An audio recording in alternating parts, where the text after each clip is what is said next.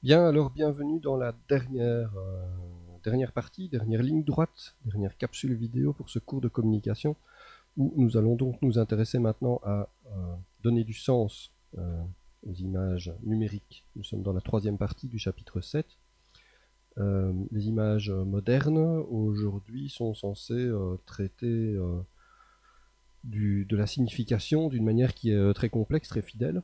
Et notre point de vue ici a été toujours celui de la systémique, donc de la vision globale des choses. Euh, c'est clair que c'est le contexte qui fait l'image, l'image n'est pas tout, il est clair qu'une image n'est pas un objet qui est simple, on vient dans les trois dernières euh, séquences de, bien le voir. Euh, il est clair aussi que les images font, partie de notre société, font, partie de notre équilibre à l'intérieur de la société. Le système et les images vont toujours interagir. Euh, par exemple, 1984, le Live Aid, euh, qui est un, concert de charité, 1985, euh, 1985.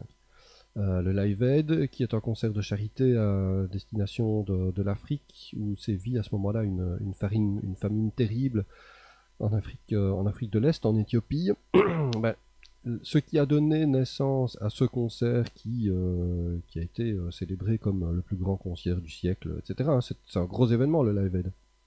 Ça se passe en juillet 1985 au stade de Wembley en Angleterre et à Philadelphie aux États-Unis. Et donc c'est un espèce de, relais géant de, presque 24 heures de musique euh, où bah, pendant la journée à Wembley et puis quand il était trop tard à Wembley, ben, ça a commencé à Philadelphie, de l'autre côté de l'Atlantique, avec le décalage horaire, c'était toujours... Euh, voilà.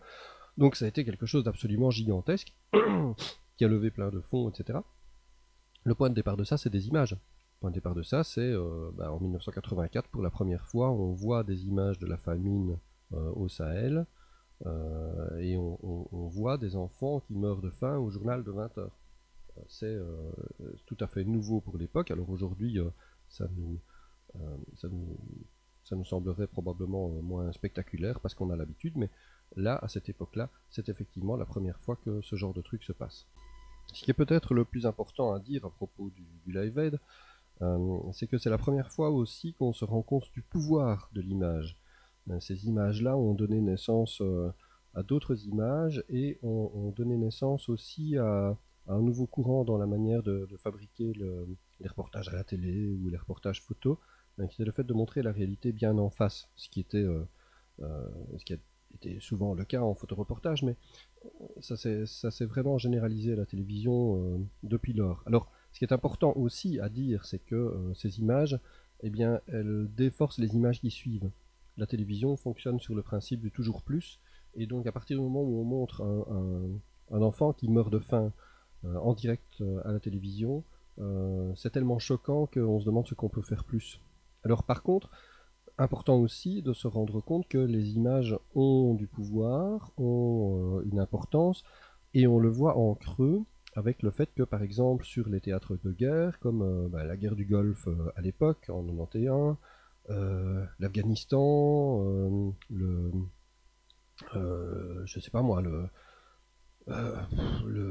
la Tchétchénie, la Yougoslavie, d'autres choses comme ça, eh bien, la censure, donc le fait de limiter la production d'images montrant les choses, euh, a, été mise en place à partir des années, euh, des années 90, des années 2000, et on s'est bien rendu compte que le contrôle des images par les belligérants euh, était quelque chose de, très crucial.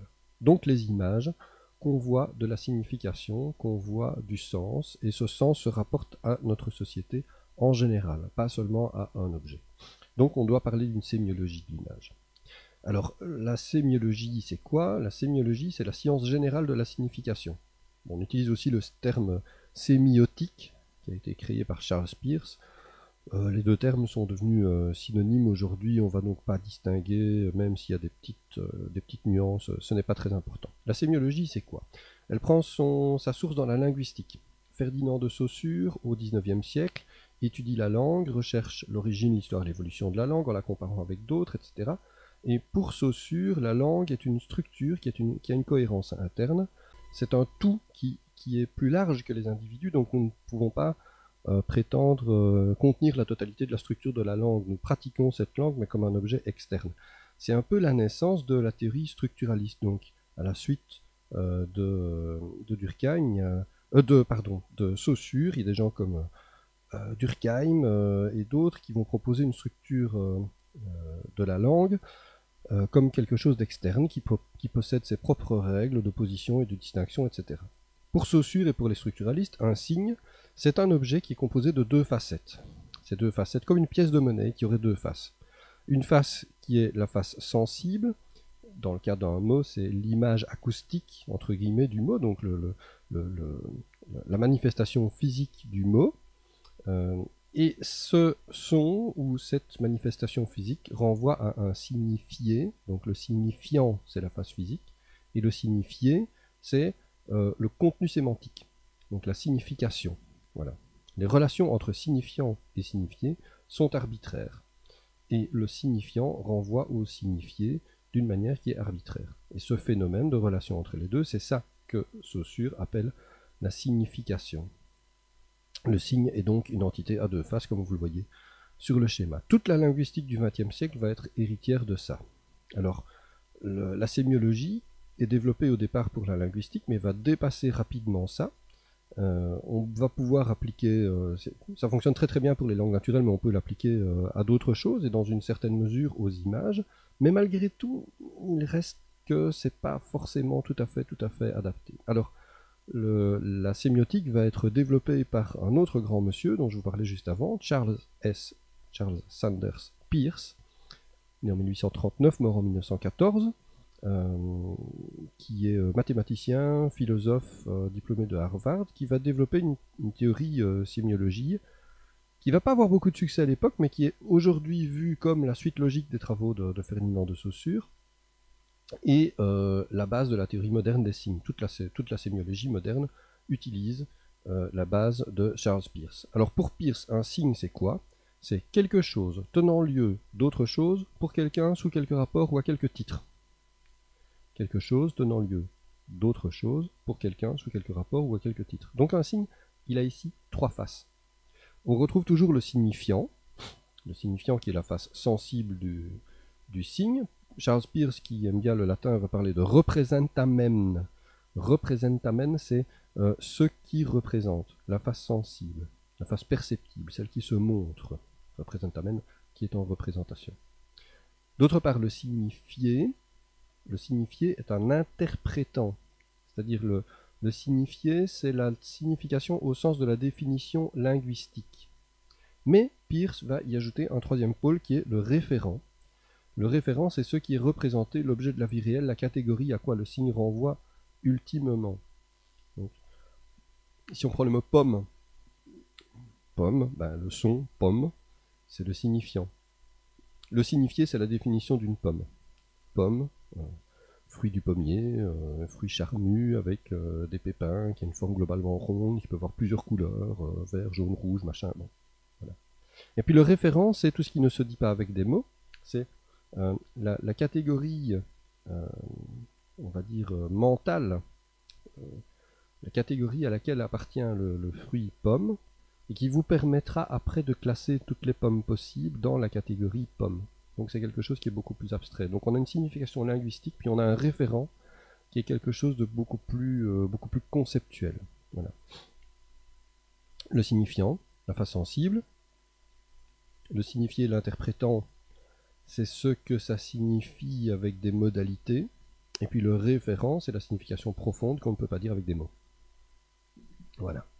Ça, c'est le, schéma de la signification qui est beaucoup plus universel que celui de Ferdinand de Saussure et qui va permettre d'ailleurs euh, d'être appliqué euh, à d'autres types de signes que les signes linguistiques. Et donc, il va permettre notamment euh, d'aborder la polysémie. La polysémie, c'est quoi? C'est le fait que un mot puisse signifier plusieurs choses. Pas différents mots qui se prononcent de la même manière, non, non. Un mot qui ait plusieurs significations possibles en fonction du contexte. Donc là, on est déjà dans les premières théories de la communication. Hein. Par exemple, euh, les fonctions du discours de Jacobson. Un bouchon, par exemple. Un bouchon, c'est quoi? Un bouchon, ça peut boucher une bouteille, ça peut boucher une route. Et c'est le contexte de la communication qui va euh, préciser à quelle variété de signes euh, nous avons affaire, à quelle variété de bouchons plutôt nous avons affaire ici? des jeux de mots aussi, les jeux de mots, les vers, vers en vers. on joue sur les mots, on joue sur les assonances et on joue aussi sur des mots qui parfois s'écrivent de la même manière, sont des analogues les uns des autres, etc. les jeux de mots selon le contexte et le, pas les jeux de mots, pardon, le, contexte de perception d'un signe. Une sphère lumineuse dans le ciel, euh, un soleil d'hiver quand on est euh, dans le sud de l'Europe, euh, et par contre un soleil d'été dans le Grand Nord. La même luminosité renvoie à différentes choses selon le contexte. Voilà. Un costume trois pièces qu'on porte pour un mariage ou pour une soirée entre amis, ben c'est pas la même chose. Donc, Pierce va établir une typologie des signes selon les rapports existants entre signifiés, signifiants et référent. Alors pour lui, par exemple, l'image est une icône. Attention, icône dans ce cas-ci, c'est écrit sans accent circonflexe. Donc c'est-à-dire que pour une image, le signifiant, la face sensible, entretient un, un rapport d'analogie physique qualitative avec le référent, et elle représente l'icône, une sous-catégorie, parce qu'il existe d'autres types d'icônes, par exemple le diagramme, qui entretient une analogie relationnelle de la dynamique entre éléments représentés euh, et le phénomène à représenter. Ou alors la métaphore. La métaphore, c'est une analogie linguistique. il y a aussi un rapport d'analogie, mais analogie linguistique avec un déplacement de langage et un parallélisme qualitatif. Bon, je ne rentre pas dans les, dans les détails euh, du classement des éléments, mais les trois catégories principales euh, pour Peirce se définissent comme ceci. Il y a d'abord l'indice. L'indice, euh, la relation entre le signifié et le référent, c'est une métonymie. La métonymie, c'est une figure linguistique où euh, on va prendre une partie pour exprimer un tout. Donc une relation de contiguïté. Il y a plein d'exemples. Le nuage et l'éclair signifient l'orage, sont un indice de l'orage. Euh, la fumée est un indice de feu, etc. etc. Donc indice, relation métonymique. Deuxième chose, une icône.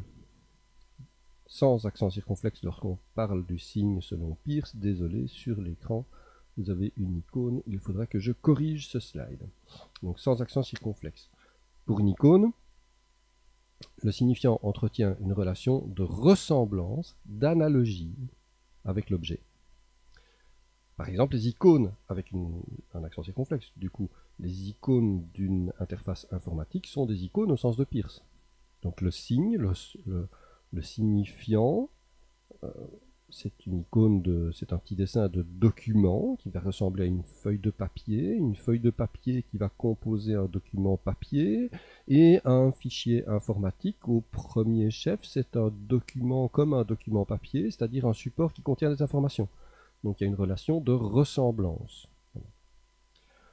Un symbole, un symbole, lui, entretient une relation arbitraire avec l'objet. Par exemple, la colombe pour la paix, le drapeau à damier pour l'arrivée de la course, euh, le, je sais pas moi, le noir pour la couleur du deuil, euh, etc. Il y a une relation qui est arbitraire.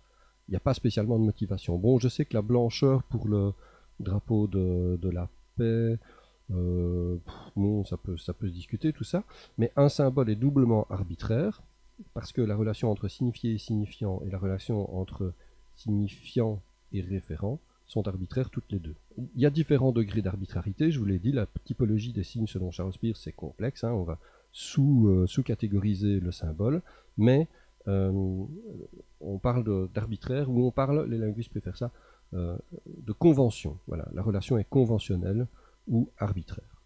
Je passe volontairement ici sur la catégorie du signe euh, puisque icône, symbole et signe sont des sous-catégories du signal, mais je passe là-dessus. Les trois principales sont l'indice, le symbole et l'icône. Les images sont des icônes, une sous-catégorie des icônes.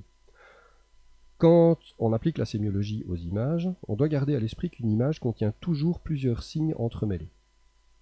Une image, c'est un objet qui entretient une relation d'analogie complexe avec un autre objet, euh, et l'image se situe toujours à cheval entre la, ressemblance, l'image se confond avec l'objet plus ou moins parce que perspective et tout ça, euh, et différence. On doit également distinguer image fabriquée image enregistrée, tous les intermédiaires possibles, les hybrides à l'ère du numérique, etc. etc. Donc c'est extrêmement complexe. On pourrait pousser même la simulation avec les images informatiques jusqu'à fabriquer une réalité virtuelle indistinguable de la réalité physique. C'est le, postulat de, films comme Matrix, par exemple, hein, qui est l'espèce d'aboutissement ultime de la technologie de l'image. Donc, les images euh, captent la réalité, fixent la réalité, à condition que cette réalité existe, on les prend à témoin, elles sont des traces, et donc au sens de la, de sémiologie, elles deviennent un petit peu des indices. Parce qu'il existe quelque part une sorte de contiguïté physique entre signifiant et référent. Et ce caractère de trace, de, de contiguïté physique, devient très vite plus important que le caractère de ressemblance. Vous pouvez lire par exemple un bouquin qui est euh, admirablement écrit qui s'appelle La Chambre claire de Roland Barthes, euh, qui parle très très bien du rapport de contiguïté entre euh, la réalité et la photographie. La Chambre claire, c'est un livre qui parle de photographie. Alors, la relation de signification, elle peut être à deux niveaux. On a une relation entre signifiant et signifié, je simplifie ici, mais enfin j'aurais pu mettre référent ici, signifiant et référent, ou signifiant et signifié. Euh, euh, euh, ce premier niveau de, relation, c'est le niveau de la dénotation. La dénotation, c'est quand on a un signe qui signifie autre chose. Oui, mais cette relation-là même, l'utilisation de ce signe dans ce contexte-là, devient lui-même un signifiant qui a lui-même un autre signifié, une autre signification. Une image est quelque chose de complexe parce qu'elle peut être à tiroir. Je vous parlais tout à l'heure du fait de, porter pardon, un, costume trois pièces ou même un smoking euh, à un mariage ou à une réunion entre amis. Si vous allez à un mariage, vous portez un smoking. Le smoking est un signe, un signe visuel de quelque chose, qui est de l'ordre du respect, de la fête, du gala, du sens de la cérémonie. Vous donnez de l'importance au mariage et donc vous mettez un smoking. Le même smoking, vous le, vous le portez pour une sortie dans le carré. Là, vous avez des ridicules parce que le costume n'est pas assorti euh, au contexte et donc ça a une autre signification. Alors ça peut avoir une signification soit sur vous-même, vous n'avez pas compris qu'un smoking dans le carré, euh, voilà, il n'y a pas moyen. ou bien ça peut être une signification d'humour, mettre un smoking dans le carré, ah ben c'est original, ça se démarque, on voit bien le, décalage est assumé entre la situation et le costume, et donc il y a quelque chose qui est, intéressant de ce point de vue-là, qui marque, qui marque un certain sens de l'humour ou que sais-je. Mais en tout cas, il y a un double niveau de signification. Euh, particulièrement quand il s'agit d'images, qui sont des objets ambigus euh, par nature, il faut tenir compte de la connotation. L'ensemble des significations secondes sont provoquées par l'utilisation d'un signe. Euh, alors, par exemple, on pourrait imaginer un analogue en littérature qui serait le, niveau de vocabulaire. Quand on parle d'un cheval, cheval, fier d'estrier, canasson ou, euh, euh, ou d'autres termes, bah, c'est le même objet, mais c'est un niveau de langage qui est différent. Voilà. Alors, un exemple ici avec une gravure qui est euh, une gravure du 19e siècle, scène champêtre assez classique, voilà. que, qui est accroché chez un particulier. bon, voilà, ça n'appelle pas particulièrement de commentaires, c'est un truc un petit peu, un petit peu banal. Sauf que euh, si on regarde la légende de, cette image, qui se trouve dans le bas de l'image, ben, on remarque un détail cocasse pour un spectateur euh, liégeois du XXIe siècle, c'est que cette scène, c'est la scène du pot au lait. Alors le pot au lait, ben, on le connaît bien ici, c'est un café à Liège, euh, et donc ça a une connotation. Donc ici, c'est simplement descriptif de cette scène, c'est la scène du pot de lait, voilà, c'est une histoire qui, qui, existe, peu importe, je la connais pas, mais c'est la scène du pot de lait, mais le pot au lait, c'est aussi euh, mais quelque chose qui n'a de sens que pour moi, ou pour vous, ou pour un spectateur liégeois. Voilà. Euh, détail euh, cocasse aussi, la scène est dédiée à Messire Claude François. voilà. Ça aussi, ça porte un peu à confusion, mais je suis persuadé que dans le, dans le cas du, dans le cas du créateur de l'image, bah, bien entendu, ça n'a pas cette connotation-là, c'est évident. le pot au lait n'est connu que des Liégeois, et Claude François, ben Claude François au XIXe siècle, il n'était pas là, le pot au lait non plus d'ailleurs, donc euh, voilà. Donc l'analyse des images est quelque chose de complexe. Alors faut-il analyser les images?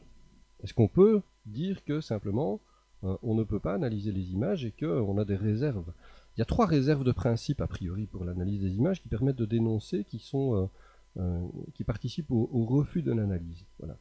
La première réserve, c'est justement le refus de l'analyse d'image en vertu du côté naturel. Une image, ça ressemble à la réalité, c'est tout. Voilà, une image, c'est quelque chose euh, qui est censé représenter euh, le monde, et donc euh, ben, analyser l'image n'a pas de sens, analysons plutôt ce qui est représenté, donc le monde. C'est pas tout à fait exact. D'abord, nous l'avons vu parce qu'il y a différentes modalités de représentation, et ensuite parce qu'on pense toujours que les images, c'est quelque chose d'universel, mais en réalité, c'est très lié à la culture. Voilà. Ici, vous avez des songlines euh, des aborigènes d'Australie. Euh, c'est un mode de représentation qui est totalement naturel pour eux, qui sont euh, des espèces de cartes spirituelles, de, parcours plus ou moins religieux pour eux. mais pour nous, en tant que carte, ça n'a aucune valeur. C'est très joli, mais ça n'a aucune valeur de représentation. Pour les aborigènes, oui. Un aborigène d'Australie va voir des choses ici qui sont signifiantes pour lui, qui ne le sont pas pour nous. Donc la première réserve qui serait le, côté naturel de l'image, elle tombe. Euh, ce serait euh, ne pas tenir compte de la culture et c'est pas possible. la deuxième réserve, c'est les intentions de l'auteur. Est-ce que tout ce que nous voyons, tout ce que nous comprenons en analysant l'image, a été voulu par l'auteur de l'image et donc est-ce légitime? Ben, euh, Il y a plein d'auteurs, notamment Roland Barthes, dont je vous parlais il y a un instant, et Umberto Eco, qui ont, évoqué cette chose-là. Et en fait, c'est un faux problème ce que l'auteur a voulu dire, dans la plupart des cas, il ne le sait pas lui-même. Vous avez ici un, tableau de, Basquiat, qui s'appelle Glenn. Euh, l'histoire de Basquiat est une histoire euh, flamboyante et tragique, euh, parsemée de drogue et d'alternés de, de conscience et de choses très bizarres. et bah, probablement, la plupart des artistes vous connaissez des, gens qui sont artistes, qui font des tableaux, etc., la plupart ne savent pas exactement pourquoi ils font les choses. Il y a juste quelque chose qui est là et qui doit sortir. Parfois de manière dramatique, comme chez Basquiat, parfois de manière beaucoup plus calme et posée, mais dans un domaine artistique en particulier, euh, dans le domaine artistique en particulier, euh, l'inconscient, le hasard, le, non-dit, voilà, euh, ben, tout ça joue un très très grand rôle. Et donc, toute analyse d'un objet est toujours légitime si je vois quelque chose dans l'objet, si je vois quelque chose dans, l'image, c'est donc que ça s'y trouve, que l'artiste ait décidé de le mettre et voulu le mettre consciemment ou pas, ça n'a pas beaucoup d'importance. Donc la deuxième réserve, les intentions de l'auteur, elles tombent aussi. Alors la troisième réserve, c'est un petit peu le, une antienne, hein, c'est le, statut, euh, le statut magique, euh, le statut sacré de l'image. Est-ce qu'on peut analyser une image alors que c'est quelque chose qui, justement, vient de l'inconscient, on ne sait pas toujours ce que ça veut dire, c'est très difficile. Est-ce que quand on analyse, on va arriver à dire tout, etc. comme, si une comme si une image, c'était quelque chose de sacré et que l'analyser, ce soit quelque chose de blasphématoire. Alors, on a le droit de, trouver qu'une image euh, euh, mérite d'être respectée et pas analysée, et que si on, si on l'analyse, on perd un peu de la magie du truc. Mais en attendant, il ne faut pas oublier qu'ici, on est dans un contexte de communication, pas dans un domaine euh, artistique ou religieux.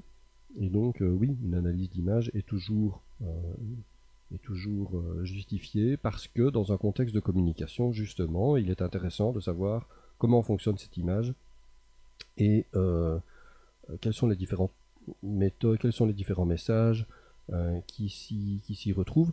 Par ailleurs, il ne faut pas oublier que euh, jusqu'à la Renaissance, l'artiste n'a pas le statut d'artiste qu'on lui connaît aujourd'hui. Le statut d'artiste, l'espèce de super-héros artistique, le, poète maudit, le, gars qui est très spécial en dehors de la société, avec un statut un peu magique, et donc ses œuvres valent évidemment des milliers de dollars.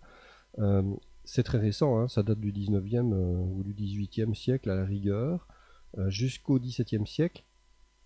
Tous les artistes, même les plus grands maîtres, sont des artisans, sont des, sont des gens qui n'ont pas plus d'aura ou de bonne réputation qu'un bon charpentier ou qu'un bon maçon. Michel-Ange, quand il peint la chapelle Sixtine, qui est aujourd'hui vue comme un des grands, une des grandes réalisations artistiques du monde moderne, ben, euh, il est.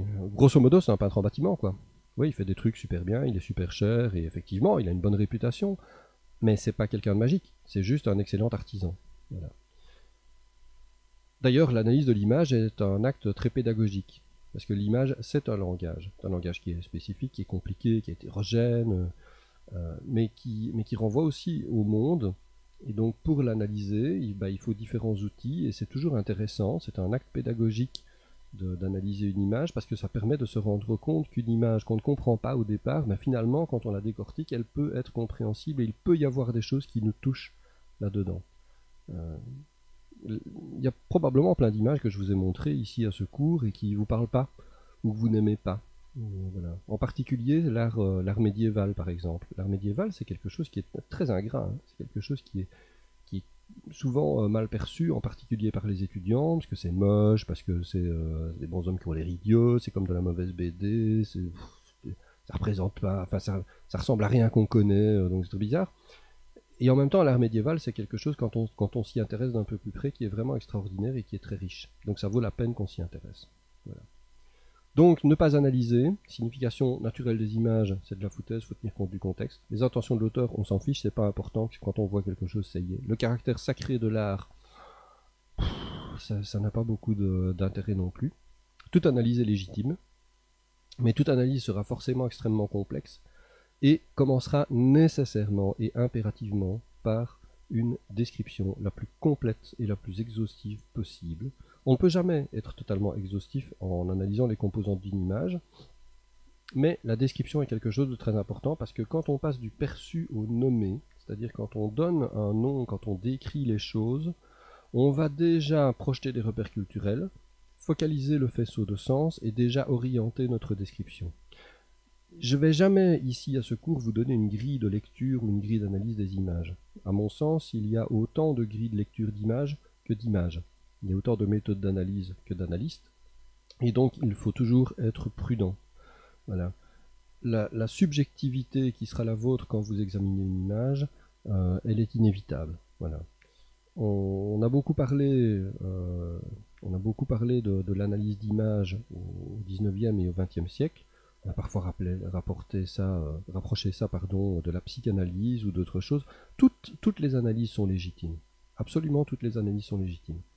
À partir du moment où on est humble, où on, commence par décrire le plus, euh, objectivement, le plus, euh, j'allais dire avec le plus de distance, mais ce n'est pas, la, ce n'est pas le mot qui convient, avec le plus d'objectivité possible, sachant que l'objectivité n'existe jamais complètement, et sachant replacer les images dans un contexte global. Donc différencier les niveaux de sens, différencier la multiplicité des images, localiser dans le contexte, se rappeler de l'iconologie.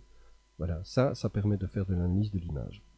Alors, dans, ce, dans cette séquence, j'ai beaucoup parlé d'analyse d'images fixes. Il y aurait beaucoup d'images à dire, beaucoup de choses à dire sur les images en mouvement, évidemment. 24 hein. images par seconde, c'est pas 24 fois plus d'images, c'est, euh, comme disait euh, Jean-Luc Godard, la, la photographie, c'est la vérité, le cinéma, c'est la vérité 24 fois par seconde. Mais c'est le cinéma, euh, le cinéma, c'est la vérité exposant 24, euh, ou 25, ou 30, ou 60 d'ailleurs aujourd'hui, puisque les fréquences d'image varient, mais un petit clin d'œil technique simplement. Euh, le mouvement, ça augmente de manière exponentielle les possibilités de sens, hein. c'est très très compliqué. Et en plus, aujourd'hui, la technique numérique permet des passages d'images. Donc le texte de Raymond Bellour, l'entre-image, prend tout son sens aujourd'hui. Quand une image en mouvement euh, est présentée, euh, il y a déjà un écart entre une photographie et une vue brève, un plan, et puis le cinéma va composer les plans en séquences, puis les séquences en film, puis les films par exemple, parfois en série de films, euh, et puis il y a des objets multimédia, etc. etc. Donc ça devient extrêmement complexe évidemment. Donc l'idée, quand je vous parle d'analyse d'image et de notes sur la signification, c'est de vous dire que la signification, c'est quelque chose d'extrêmement complexe, qu'on ne peut jamais, jamais envisager une image dans sa globalité, euh, et que n'importe quelle image mérite toujours qu'on la décompose, qu'on la décortique, qu'on situe les niveaux de sens, et qu'on s'attaque à un niveau de sens à la fois. Il n'y aura pas de conclusion définitive concernant l'analyse d'image, que les images soient fixes ou en mouvement ou interactives, c'est un terrain complexe dans lequel vous devrez forger vous-même vos propres outils d'analyse les uns après les autres. Voilà. Puisque ce, cours euh, s'adresse à des, producteurs d'images en puissance, puisque vous, êtes, vous serez infographiste euh, dans peu de temps, et donc vous travaillerez dans le domaine de la production des images, il vous faudra aussi, vous, être attentif à, la manière dont les images sont, produites et aux règles. Ne pas appliquer les règles aveuglément et surtout tenir compte de tout ce qui entoure l'image, la complexité du contexte, les différents niveaux de langage, la complexité intrinsèque, etc. etc. Et pour finir, puisque nous parlions euh, d'image numérique, mais il y a un document que je ne pourrai pas vous projeter en classe vu les circonstances, mais que je vous demanderai d'aller voir et ça va vous réclamer un petit effort. Je vais vous demander de visionner un documentaire qui s'appelle Digital Nation, qui est un documentaire réalisé euh, il y a une dizaine d'années maintenant euh, par la, chaîne de télévision publique PBS aux États-Unis et qui est visible à l'adresse que vous voyez ici, donc pbs.org slash wgbh slash frontline slash film slash digital nation. Cette URL sera évidemment euh, présente dans le Moodle, vous n'aurez qu'à cliquer dessus pour vous y trouver. Voici à quoi ça ressemble. C'est le site de, PBS. Vous avez le documentaire Digital Nation. Ça fait 1h25. Donc c'est un documentaire euh, de long métrage qui est relativement long. Euh, c'est l'épisode 9 d'une série de documentaires euh, d'une émission qui s'appelle Frontline. Le documentaire, donc il est disponible en anglais. c'est sous-titré en anglais également. Moi je vous demande de faire l'effort de le regarder en anglais et vous allez voir que euh, ce documentaire, il parle de vous. Il parle, euh, il parle de, euh, de l'irruption du numérique dans nos vies et de la manière dont apprendre change est, complètement différent par rapport à ce que nous connaissions précédemment.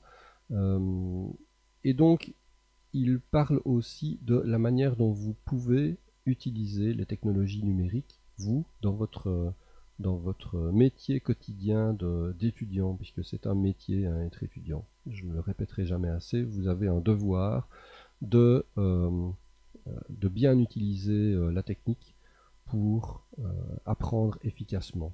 Donc je vous demande vraiment de faire l'effort d'aller voir ce documentaire.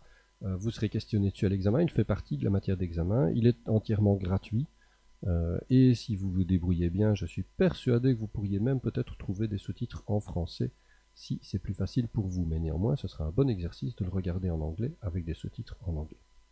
Voilà, ceci conclut la, matière de, ce cours de communication, un cours où j'ai essayé de, suivre au plus près le, livre. Euh, j'espère que tout le monde a pu se procurer le livre, car vous savez qu'il sera euh, possible d'avoir le livre à l'examen. Donc vous pouvez euh, vous procurer le livre et le prendre avec vous le jour de l'examen, examen écrit qui se déroulera je ne sais pas quand cette année, puisque vous savez que là on est en 2020, l'année est un peu perturbée, donc vous serez tenu au courant des modalités d'examen. Voilà.